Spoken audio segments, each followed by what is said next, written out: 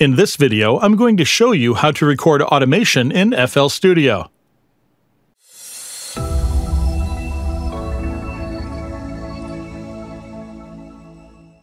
Let's have a look at how you can record automation by using your hardware.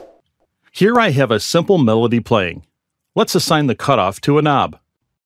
Click here, and then tweak the knob you want to automate in the VST. Then tweak the knob that you want to automate on your MIDI keyboard or other device.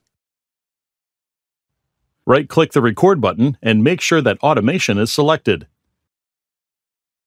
We can now press Record and while it's recording, tweak the knob.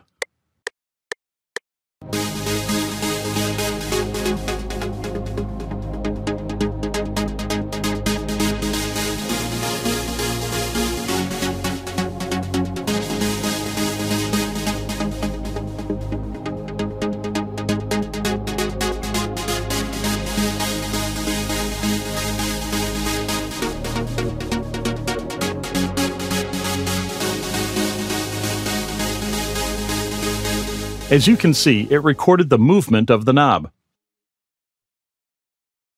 It's not possible to record directly into automation clips in FL Studio. It will always record an event instead, as you can see in the background of the pattern here. It is, however, possible to convert events into automation clips.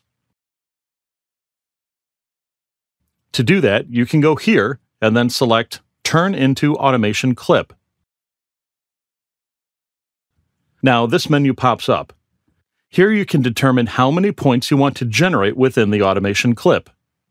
If you want to know more about events and automation clips, then you can check out my automation tutorial. I've added the link to the description below. Now you can start using those knobs and faders.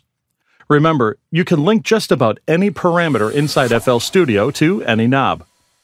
I'd like to thank our Patreons for their ongoing support, and as always, if there's any specific tutorial you'd like us to make, or if you have a question, just let us know in the comments below. Thanks for watching.